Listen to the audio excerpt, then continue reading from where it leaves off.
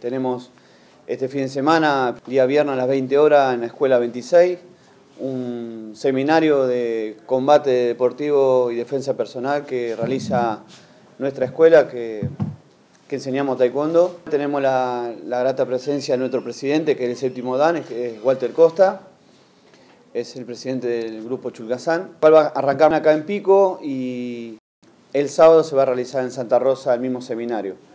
Por, el crecimiento que hemos tenido, más los dos torneos que tenemos en nuestra provincia, la parte deportiva es importante, ya que muchos de nuestros competidores no solamente pelean a nivel local, sino a, nivel nacional también. Acá en Pico vamos a andar más o menos entre los 60 70 alumnos, los cuales no es abierto al público, sino solamente los alumnos de nuestra escuela son los que pueden participar.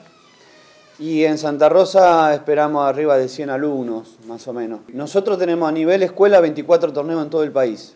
Es decir, que aquel que le gusta la competencia tiene para, primero conocer el país porque tenemos desde Salta a Mendoza, en toda la región hay 24 torneos, los cuales después hay tres nacionales, el más importante que se hace en noviembre, que participamos contra otras escuelas, y los cuales el que gana tres nacionales tiene la posibilidad de ir al selectivo. Y si clasifican el selectivo, de ahí puede ir a la selección argentina de ITF, ¿no? Un calendario importante, pero requiere también un movimiento económico. Exacto.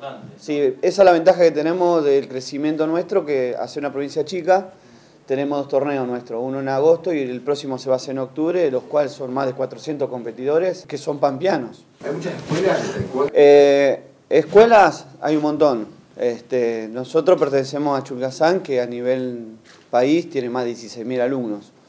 Eh, tiene 35 años en enseñanza de taekwondo. Y lo dedicamos mucho más a la parte docente del arte.